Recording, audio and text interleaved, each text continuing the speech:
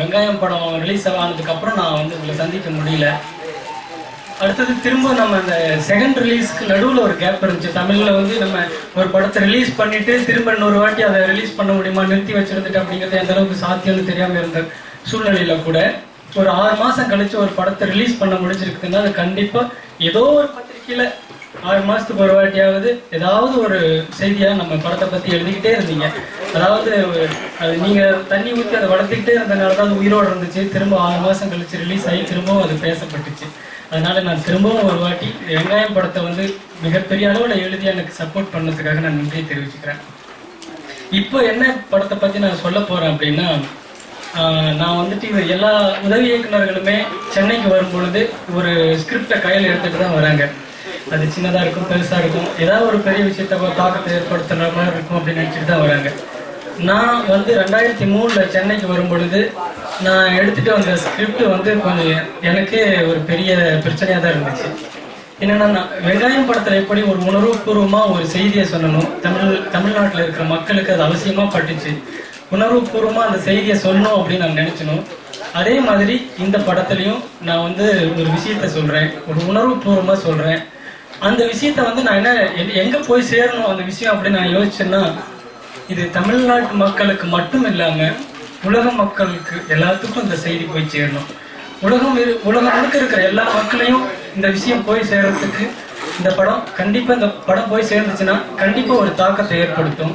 ஏதாவது அதுல இருக்கிற செய்தி உண்மையிலே எப்படி வெங்காயம் படத்துல இருக்கிற செய்தி வந்து தமிழ் மக்களுக்கு அவசியமா இருந்துச்சோ அதே மாதிரி இது உலகம் முழுக்க இருக்கிற மக்களுக்கு இந்த படம் இந்த படத்து மூலமா சொல்றப்படுற அந்த செய்தி ரொம்ப அவசியமா இருக்கும் அப்படின்னு எனக்கு ரொம்ப உறுதியான ஒரு நம்பிக்கையா இருக்கு. இப்போ என்னன்னா இந்த இது எப்படி நான் வந்து எந்த ஒரு பேக்ரவுண்டும் இல்லாம எந்த ஒரு பெரிய பண சப்போர்ட்டு ஃபினான்சியல் சப்போர்ட் இல்லாம எப்படி நான் இதை உலகம் முழுக்க கொண்டு போய் சேர்த்த முடியும் அப்படின்னா எனக்கு ஆரம்பத்தில் எனக்கே ரொம்ப சந்தேக சந்தேகமாக தான் இருந்துச்சு ரொம்ப குழப்பமாக இருந்துச்சு. இது எப்படி நம்ம உலக மக்களுக்கு ஏற்ற மாதிரி இது எப்படி இதை நம்ம இந்த படத்தை நம்ம எடுக்க போகிறோம் அப்படின்னு எனக்கு ரொம்ப குழப்பமா இருந்துச்சு. எனக்கு என்ன ஒரு கான்ஃபிடென்ட்னா வெங்காயம் படத்தை எடுக்கும் பொழுது எனக்கு தமிழ்ல எந்த பேக்ரவுண்டுமே இல்லை. நான் வந்து ஒரு விவசாய குடும்பத்துல இருந்து வந்தவன். பெரிய பணம் இருக்கிற சப்போர்ட் இருக்கிற ஃபேமிலி கிடையாது. சாதாரணமா வந்தேன். நான் ஒரு அதுல ஒரு நல்ல விஷயம் வச்சிருந்தேன். உண்மையா உழைச்சோம். அது வந்து கண்டிப்பா மக்களை போய் சேர்ந்துச்சு. அதே மாதிரி தான் எனக்கு அதே நம்பிக்கை அந்த படத்துக்கும் எனக்கு ரெண்டாயிரத்தி மூணுல இருந்துச்சு. என்ன பண்ணணும்? நம்ம இந்த படத்தை எப்படி பண்ணணும்னா கண்டிப்பா இது உலக படமாகணும். இந்த படத்தை நான் வந்து தமிழ்ல எடுக்கல. இந்த ஆங்கில வசனத்துல தான் எடுத்திருக்கேன். எப்படி நம்ம உலகம் முழுக்க கொண்டு போய் சேர்த்த போறோம்? எப்படி இது அந்த அளவுக்கு எப்படி நம்ம பப்ளிசிட்டி பண்ண முடியுமா? ஒன்னா உலகம் முழுக்க ஒரு படம் போய் சேரணும் அப்படின்னா ரெண்டு விஷயம் இருந்தால் மட்டும் போய் சேரும். ஒன்னா பெரிய அளவுக்கு கோடி கணக்கில் செலவு பண்ணி பிரம்மாண்டமாக எடுத்த படமாக இருக்கணும். அதுக்கு பெரிய அளவில் மிக அதிகமான பப்ளிசிட்டி பண்ணி அதுக்கப்புறம் அதை ரிலீஸ் பண்ணும்பொழுது மக்களோட கவனத்தை இருக்குது இன்னொரு மெத்தேடில் நம்ம எப்படி இதை கொண்டுட்டு போய் சேர்த்த முடியும் அப்படின்னு நான் யோசிச்சும் போது ஒன்னா இந்த மேக்கிங்ல வந்து ஸ்பெஷலா இருக்கிற படங்கள் கண்டிப்பா உலகம் முழுக்க கவனிக்கப்பட்டுக்கிட்டே தான் இருக்கு.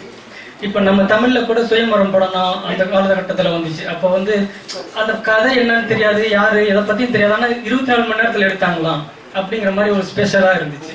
அதே மாதிரி இப்போ கூட மலையாளத்துல ஒரு படம் வந்து ஒரு ஸ்பெஷல் இது மணி அவர் டைமுக்குள்ள எடுத்து முடிச்சிருக்காங்க அப்படிங்கிறது அந்த டைரக்டர் யாருன்னு தெரியாது அந்த கதை என்னன்னு தெரியாது. ஆனா கண்டிப்பா அந்த விஷயத்துக்காக அது செய்தியா இங்க வருது அது நமக்கு இன்னைக்கு வரைக்கும் நம்ம காதுக்கு வந்துருச்சு. இதே மாதிரி நான் ஆங்கிலத்துல கூட பார்த்திருக்கேன் நிறைய படங்களை. ஏன்னா தனி ஒரு மனிதன் மட்டுமே ஒரு படத்துல நடிச்சிருப்பான். ஒரு ஒரே ஆள் நடிச்சிருப்பான் படம் முழுக்க. அது வந்து அது அதுக்கான ஒரு அடையாளம் ஆயிடுது. இது ஒரு ஆள் நடிச்ச படம் ஒரே ஆள் மட்டும் நடிச்ச படம். தமிழ்ல கூட அந்த மாதிரி ரெண்டே ஆள் மட்டும் நடிச்சாங்க அப்படிங்கிற மாதிரியான ஒரு அந்த மாதிரியான ஒரு கவனத்தை ஈர்க்கிற பொழுது கண்டிப்பா அது லாங்குவேஜ் எல்லாம் தாண்டி மொழியெல்லாம் தாண்டி ஒரு அது ஒரு செய்தி ஆயிடுது. நிறைய நான் ஒரே ரூ- ஒரே அறைக்குள்ள ஒரு படத்தை எடுத்து முடிச்சிருக்காங்க. இங்கிலீஷ் படங்களை பார்க்குறேன் பரைடுன்னு ஒரு படம் பார்த்தேன் ஒரே சவப்பட்டிகளையே அவங்க ஒரு- ஒருத்தனை அடைச்சி தூக்கி போட்டுருவாங்க. அவன் எப்படி வெளியில வரான் அப்படிங்கறத படம் முழுக்க எடுத்திருக்காங்க. கண்டிப்பா இதுல யாரும் ஆர்டிஸ்ட் யாரும் கிடையாது எந்த டைரக்டரும் பெரிய டைரக்டர் கிடையாதுன்னா கூட இந்த ஒரு ஸ்பெஷலான மேக்கிங்க கண்டிப்பா இது உலகம் முழுக்க நம்ம இன்னைக்கு வரைக்கும் பரைடுன்னு ஒரு படம் தெரியுது. இந்த காஸ்ட் அதே மாதிரியான படங்கள் எல்லாம் இன்னைக்கு உலகம் முழுக்க தெரிய வச்சிருக்குன்னா அந்த படத்தோட ஸ்பெஷல் மேக்கிங் தான் அப்படின்னு முடிவு பண்ணி நம்மளும் இந்த படத்தை ஏதாவது ஒரு ஸ்பெஷலான மேக்கிங்கில் எடுத்துட்டோம்னா கண்டிப்பாக உலகம் முழுக்க இது கவனத்தை ஈர்க்கும் அப்படிங்கிற ஒரு நம்பிக்கை இருந்துச்சு. என்ன பண்ணணும் நம்ம அப்படின்னா அதை வந்து சரி தனியாக ஒரு ஆள் நடிச்சாரு அப்படி மாதிரி இது பண்ணாரு அப்படிலாம் தாண்டி இது உண்மையிலேயே இப்படி முடியுமா? இப்படி பண்ண முடியுமா? அப்படிங்கிற மாதிரியான ஒரு சின்ன கவனத்தை கவனிக்க வச்சுட்டோம்னா கண்டிப்பாக இது சாத்தியப்படும் அப்படின்னு நினச்சி அதுக்காக தான் நான் உழைக்க ஆரம்பித்தேன் ரெண்டாயிரத்தி மூணுலேருந்து இந்த படம் எடுக்கிறது மட்டுமே லட்சியமா இருந்து நான் என்னன்னா ஒரு அஞ்சு வருஷம் டார்கெட் வச்சேன். என்ன பண்ணணும் அப்படின்னு முடிவு பண்ணணும்னா எப்படி இந்த படத்தை முடிவு எடுக்கணும்னு முடிவு பண்ணேன்னா ஒரு தனி மனுஷனா தன்னந்தனி மனுஷனா வேற யாருடைய உதவியும் வேற யாருடைய பங்களிப்பும் இல்லாம ஒரு முழு படத்தை எடுக்க முடியுமா? அப்படிங்கறத நான் யோசிச்சேன். அதாவது ஷூட்டிங்கில் தொடங்கி எழுதுறதுல தொடங்கி எல்லாத்துலேயுமே யாருடைய பங்களிப்பும் இல்லாமல் அதை நம்ம போஸ்ட் ப்ரொடக்ஷன் எல்லாம் பண்ணி அவுட்புட் கொடுக்குற வரைக்கும் ஒரு தன்னந்தனி மனுஷனே ஒரு படத்தை எடுக்க முடியுமா அப்படின்னு யோசிச்சு ஏன்னா இவ்வளோ ஒரு முந்நூறு பேர் நானூறு பேர் சேர்ந்து செய்கிற ஒரு வேலை ஒரு ஷூட்டிங் ஸ்பாட்ல சேர்ந்து செய்யற ஒரு வேலையை எத்தனையோ பேர் போஸ்ட் ப்ரொடக்ஷன் தெரியாத டேலண்டான கிரியேட்டர்ஸ் எல்லாம் செய்யற வேலையை நம்ம செய்ய முடியுமா அப்படின்னு எனக்கு யோசிச்சு முடியும் அப்படின்னு தான் நான் முடிவு பண்ணேன். முடிவு பண்ணால் இதுக்கு வந்து நம்ம ஒரு அஞ்சு வருஷம் நம்ம உழைப்போம். இரவு பகலாக எல்லா விஷயத்தையும் நம்ம என்னென்ன விஷயங்களை கற்றுக்க முடியுமோ அந்த அந்த எல்லா விஷயங்களையும் ஒரு அஞ்சு வருஷத்துக்கு நம்ம கற்றுக்குவோம் கற்றுக்கிட்டு அதுக்கப்புறமா நம்ம இந்த படத்தை எடுக்கும் அப்படின்னு நினச்சி தான் நான் தொடங்கினேன். ஆனால் அஞ்சு வருஷத்தில் அது முடிக்க முடியல. கிட்டத்தட்ட ஒன்பது வருஷம் ஆயிடுச்சு. நான் செய்யறதுக்கு ஒன்பது வருஷம் ஆகி இன்னைக்கு இந்த படத்தை கிட்டத்தட்ட முடிக்கிற அளவுக்கு எடுத்து முடிச்சிருக்கேன். ஒரு எண்பது பர்சன்ட்டுக்கு மேலே முடிச்சிட்டேன். எல்லா வேலைகளும் செஞ்சு. இதோட என்னன்னா ஒரு தன்னந்தனியா ஒரு படத்தை எடுக்க முடியும். ஒரு தனி மனிதனா ஒரு படத்தை தயாரிக்க முடியும். அதுக்காக தனி மனிதனா ஒரே ரூம்ல இருக்கும் ஸ்டெடியா இருக்கும். ரொம்ப போரா இருக்கும் ஷார்ட் ரொம்ப லேட்டா இருக்கும் டாக்குமெண்ட்ரி மாதிரி இருக்கும். அப்படின்லாம் இல்லாம ஒரு கமர்ஷியல் படம் எப்படி இருக்குமோ அதே இது- சொல்லணும்னா இது ஒரு தனி மனிதன் எடுத்த படம் அப்படிங்கிற மாதிரியான உணர்வே இருக்கக்கூடாது அப்படிங்கிறதுக்காக முழுக்க நான் அதை உழைச்சிருக்கிறேன். இது சும்மா நான் வாயில சும்மா நான் தனி மனிதன் எடுத்தேன் அப்படின்னு சொன்னா அது எப்படி நம்ம நம்பும்படியா இருக்குமா? அது வந்து எந்த அளவுக்கு சாத்தியம்ங்கிற ஒரு சந்தேகம் வரும் அப்படிங்கிறதுக்காக அது ஒரு நாலு சீனை மட்டும் உங்களுக்கு போட்டு காட்டுறதுக்காக எடுத்துட்டு வந்திருக்கிறேன். ஏன்னா நம்ம ஒரு ஒரு நாலு சீனாலும் முழுசா முழு நூறு சதவீதம் வேலை முடிஞ்ச வடிவத்துல இல்ல. உம் பார்க்கறதுக்கான ஒரு ரஃப் எடிட்னு சொல்லுவோம்ல அந்த இதில் இதுல முழுக்க கலர் கரெக்ஷன் இல்லாம ரஃபா பண்ணி ஒரு பார்க்கறதுக்கான வடிவமா எடுத்துட்டு வந்திருக்கேன். அந்த நாலு சீனும் அப்புறம் தொடர்ந்து நான் இதை மேக்கிங் நானே பண்ணினேன் அப்படின்னு சொன்னாலும் இது எந்த அளவுக்கு சாத்தியம் அப்படிங்கிற ஒரு சந்தேகம் வருங்கிறதுக்காக ஒவ்வொரு செகண்டையுமே நான் ரெக்கார்ட் பண்ணியிருக்கிறேன் மேக்கிங் கேமராவில் நான் போய் ஷூட்டிங் பண்ணுற காரை விட்டு இறங்குனது முதற்கொண்டு திரும்ப நான் வந்து திரும்ப ஏறி வர வர வரைக்கும் அதே மாதிரி ஸ்டுடியோக்குள்ளே போனாலும் நான் ஸ்டுடியோக்குள்ளே போகிறதுலேருந்து நான் என்னென்ன ஒர்க் பண்ணுங்கிற எல்லாத்தையும் ரெக்கார்ட் பண்ணியிருக்கேன். ஏன்னா இதுக்கு எதுக்காக இந்த இவ்வளோ வேலை இவ்வளோ கஷ்டம்னா நான் சொல்கிற விஷயத்த கண்டிப்பாக நான் எல்லா மக்களுக்கும் சொல்ல முடியும். இதுக்காக நான் மெனக்கெடணும் இதுக்காக நான் உழைக்கணும். ஒன்பது வருஷம் கூட எனக்கு அது பெருசாக தெரியல. இந்த விஷயம் போயிடுச்சுன்னா நான் ரொம்ப சந்தோஷப்படுவேன். அந்த அந்த பதினோரு ஒரு பதினோரு நிமிஷம் பன்னெண்டு நிமிஷம் வரும் அந்த ஃபுட்டேஜ் ஒரு நாலு சீனும் இன்னொரு இன்னொரு விஷயம் என்னன்னா இது நான் நினைச்சதும் இப்போ கிட்டத்தட்ட நடந்துருச்சு. என்னன்னா ஒரு ஹாலிவுட்ல இருக்கிற ஒரு ப்ரொடியூசர்கிட்ட இதோட டைட்டில் மட்டுமே நான் எக்ஸ்போர்ட் பண்ணி செலக்ட் பண்ணியிருந்தேன். அவர் அதை பார்த்துட்டு இந்த டைட்டில் வெறும் டைட்டில் மட்டும் யார் அப்படிங்கிற மாதிரி அந்த டைட்டில் மட்டும் ஓட்டி இது ரொம்ப வித்தியாசமா இருக்கு அப்படின்னு சொல்லிட்டு எனக்கு அடுத்த மாசம் அங்கே அமெரிக்காவில் வந்துட்டு ஆடியோ ரிலீஸ் பண்ணி தரேன் அதாவது ஒரு ஃபங்க்ஷன் வச்சு தரேன் ட்ரெய்லர் ரிலீஸ் மாதிரி அப்படின்னு சொல்லியிருக்காரு. நான் இதை நான் நினைச்சதை சாதிச்சிட்டோமா நினைச்ச இடத்துக்கு நான் ஒரு முதலீடு எடுத்து வச்சிருக்கிற மாதிரி இருக்கு. இன்னொரு விஷயம் என்னன்னா நான் நேரடியாக இது வந்து தமிழுக்கு தமிழ் படம் இல்லை அதனால அங்கே அங்கே போய் நேரடியாக சொல்லணும் அப்படிங்கிறது எனக்கு கொஞ்சம் உடன்பாடு நண்பர்கள் கூட சொன்னாங்க அங்கேருந்து செய்தியாக வரும் பொழுது அது வேற மாதிரியா கவனிப்பாங்க நீங்க சொன்னீங்கன்னா அது வேற மாதிரி கவனிப்பாங்கன்னு. அப்படிலாம் இல்லை. வெங்காயம் படத்தை நீங்க தான் கொண்டு போய் எல்லாருக்கும் சேர்த்துனீங்க. நான் வந்து அப்படி சொல்லாம போனா அம்மா கிட்ட சொல்லாம இருந்து கிளம்பி போற மாதிரி ஒரு உணர்வு இருக்கும். அதனால நான் உங்ககிட்ட சொல்றேன் உங்ககிட்ட போட்டு காட்டுறேன். நீங்க ஒரு அம்மா வந்து ஒரு குழந்தை ஒரு டிராயிங் பண்ணி கொண்டாந்து காட்டுனா அது என்ன மண்ணில பாப்பீங்களோ அந்த மண்ணில பார்த்துட்டு எனக்கு கருத்து சொல்லுங்க. பின்ன இதை பத்தி நான் வந்து சின்னதா வெளியில ஒரு சின்ன பேனர் கூட வைக்கல நானு. ஒரு பேப்பர்ல கூட சொல்லல. இதை வந்து இதுக்கு முன்னாடி இதை பத்தி நான் சொல்லிக்கவும் இல்லை வெளியில. ஏன்னா இதை நம்ம ப்ரூவ் பண்ணாம எதையும் சொன்னா இவன் ஆர்வப்போலாரு இவன் ஏதோ அதிக பிரசித்தனம் பண்றான் அப்படின்னு கூட நினைப்பாங்க அப்படின்ட்டு நம்ம எதையுமே செஞ்சு காட்டாம சொல்லும்போது அது நம்பிக்கை ஏற்படாதுங்கிறது இவ்வளவு கஷ்டப்பட்டுட்டும் இது பண்ணினேன். குறிப்பா கூட சொல்லுவாங்க உடம்பே ஏறல அப்படின்ட்டு. நான் வந்துட்டு எனக்கு தெரிஞ்சு இந்த ஒன்பதரை வருஷத்துல கிட்டத்தட்ட ஒரு மூவாயிரத்தி ஐநூறு நாள் இருக்குன்னா கிட்டத்தட்ட நான் ஒரு ஒரு ரெண்டாயிரத்தி ஐநூறு நாள் வந்து நான் ஒரு மூணு மணி நேரம் நாலு மணி நேரம் தான் தூங்கி அவ்வளோ வேலைகளை இதை நான் எடுத்து செஞ்சேன். எனக்கு என்னன்னா இதை வந்து நீங்க வந்து யாராவது பாராட்டணும். ராஜ்குமார் பரவாயில்ல எல்லா எல்லாத்தையும் இவனை செஞ்சிருக்காங்க ஒரு பெரிய புத்திசாலி அப்படின்னு பாராட்டணுங்கிறதுலாம் இல்லை. எனக்கு வந்து நான் சொல்ற விஷயம் வந்து உலகம் முழுக்க போய் சேர்ந்துடணும். அதுக்காக உழைச்சிருக்கிறேன் என் பேரை வந்து முன்னிலைப்படுத்துறதை விட இன்னும் குறிப்பாக படத்தோட பேர் வந்துச்சுன்னா நான் சந்தோஷப்படுவேன். ஏன்னா ஒரு பெரிய பட்ஜெட்ல பண்ணி பெரிய அளவுல விளம்பரம் பண்ணுற அளவுக்கு பண்ணினா மட்டுமே இது போய் சேர வேண்டிய படம். ஏன்னா கண்டிப்பா இது வந்து சின்னதா ஒருத்தர் ஏன்னா நம்ம நம்ம டிஸ்கவரியில கூட பார்ப்போம். அவரே கேமரா எடுத்துட்டு ஒரு ப்ரோக்ராம் எடுத்துட்டு வருவாரு. ஒன்லி அவர் கேமரா மட்டும்தான் அவரே பண்ணிக்கிறாரு எடிட்டிங் கிராஃபிக்ஸ் அதெல்லாம் வேற யாராவது பண்றாங்க. அவரோட என்டர்டைட்டில் பார்த்தாலே ஒரு ஆயிரம் பேர் அந்த மாதிரி போவோம். அதையே நம்ம ஆச்சரியமா பாக்குறோம் நம்ம கண்டிப்பா இதை உலக மக்கள் கவனிப்பாங்க அப்படிங்கிற ஒரு நம்பிக்கை இருக்கு. இன்னமும் எனக்கு வந்து இப்பவும் திரும்பவும் ஒரே இன்னொரு வாட்டி எனக்கு நீங்க கை தட்டும் போது இன்னொரு வாட்டி எனக்கு உயிர் வந்த மாதிரி இருக்கு.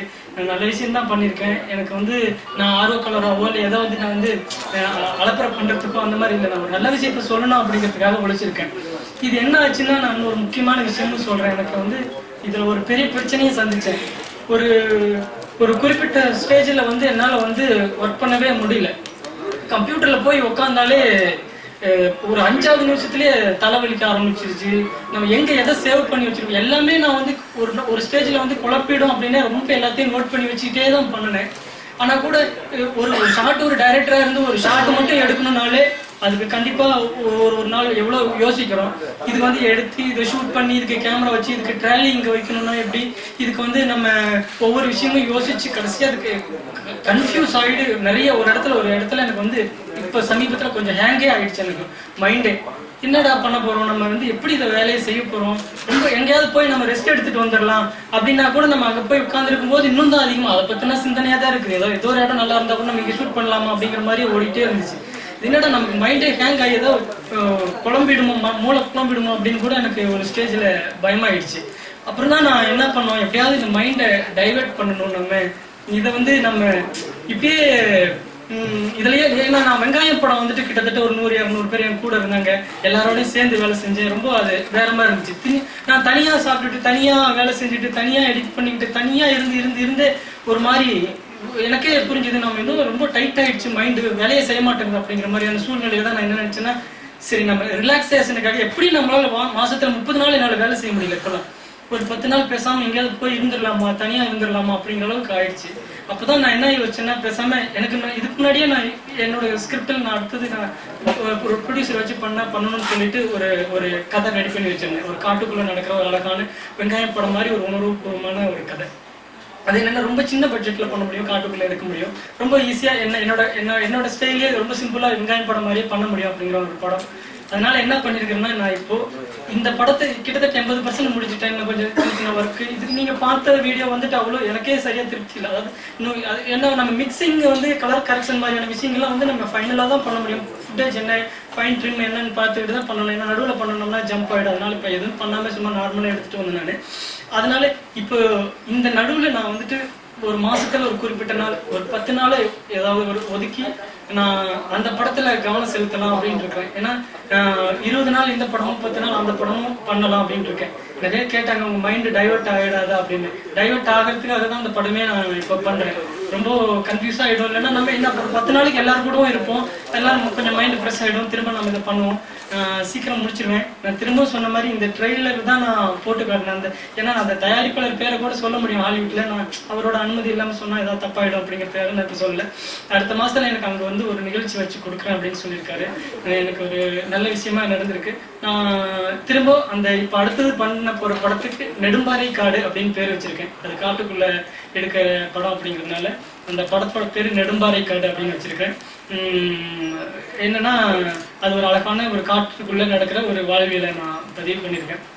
திரும்ப இந்த படத்தை முடிச்சுட்டு அடுத்தது செய்தி அவங்க ஹாலிவுட்லேருந்து வந்தால் அந்த அமெரிக்காவிலேருந்து வருமா? நான் வந்து இதை வந்து சொல்கிறதுக்கு நான் சந்தோஷமாக தான் இருக்கு நான் உண்மையிலேயே வந்து இரவு பகல் பாலாமல் ஒரு ஒன்பதரை வருஷம் உழைச்சதுக்கு எனக்கு ஒரு சின்ன முதலடி எடுத்து வச்சிருக்கேன். அதுக்கு திரும்பவும் நான் வந்து உங்ககிட்ட இது என்னைக்காவது ஒரு வாட்டி நல்ல ஒரு பேரை பரவாயில்ல. தமிழ்நாட்டுல ஒருத்த ஒருத்தன் வந்து ஒரு கவனிக்கிற அளவுக்கு ஒரு படம் பண்ணியிருக்கான் அப்படிங்கிற ஒரு பேர் வந்துச்சுன்னா கண்டிப்பாக அதை நான் திரும்பவும் உங்களுக்கு தான் சமர்ப்பிப்பேன். ஏன்னா ஒவ்வொரு சமயத்துலையும் நீங்கள் தான் எனக்கு மக்கள்கிட்ட கொண்டு போய் சேர்த்துருக்கீங்க. எனக்கு பெருசாக பேக்ரவுண்ட் எதுவும் இல்லை. நீங்கள் ஏதாவது ஒரு விஷயத்த நீங்கள் நோட் பண்ணும்போது கூட நீங்கள் நீங்கள் எழுதும்போதோ போடும்போதோ சொ- போடுங்க. நான் வந்து பெரிய பணக்கார வீட்டு பையன் இல்லை. விவசாய குடும்பம் தான். எனக்கு சினிமாவில் எதுவும் பேக்ரவுண்ட் இல்லை. பெருசாக எதுவும் எக்ஸ்பீரியன்ஸ் இல்லை. இதுக்கு நான் சும்மா சிம்பதி கிரியேட் பண்ணுறதுக்காக சொல்லலை. எதுக்கு சொல்றேன்னா என்னால் இது செய்ய முடிஞ்சிருக்கு அப்படின்னா என்னோட பேக்ரவுண்ட் என்னன்னு தெரிஞ்சால் என்ன மாதிரி இருக்கிற பசங்களுக்கு நீங்கள் எழுதும்போது கொஞ்சம் என்கரேஜ்மெண்ட்டாக இருக்கும் அப்படின்னு நான் நினைக்கிறேன். எப்படின்னு தெரியல.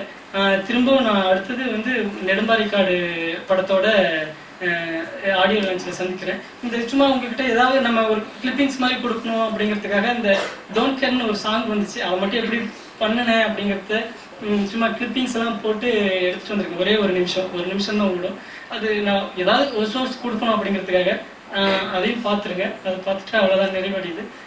என்னுடைய உழைப்பை என்னுடைய நான் மக்களுக்கு சொல்லணும் அப்படிங்கிற நினைக்கிற நான் விஷயத்த நான் உண்மையாக தான் சொல்கிறேன் எந்த பொய் சொல்லாமல் உண்மையாக நான் மனப்பூர்வமாக மக்களுக்கு சொல்லணும் நான் சினிமாவை வந்துட்டு பிஸ்னஸாக பார்க்குறோன்னா இல்லை வந்துட்டு டைம் பாஸ் சினிமா பண்ணுறோன்னா அப்படிங்கிறது உங்களுக்கு தெரியும். வெங்காயம் படத்துலேயும் நான் அதை அவ்வளோ நான் எங்கள் சொத்தெல்லாம் போட்டு பண்ணணுங்களுக்குலே தெரியும். நான் இதுலேயும் உலக மக்களுக்கு ஒரு நல்ல விஷயத்த சொல்லி கண்டிப்பாக தமிழன் அப்படிங்கிறதுக்கு ஒரு நல்ல மரியாதை ஏற்படுத்தி தருவேன் அப்படின்னு நம்புகிறேன் இப்போ அந்த ஒரு நிமிஷம் வீடியோ மட்டும் play பண்ணுங்க. அது என்ன சொல்ல வரீங்க? அந்த ரெட்டு வருது இல்ல எதுங்க?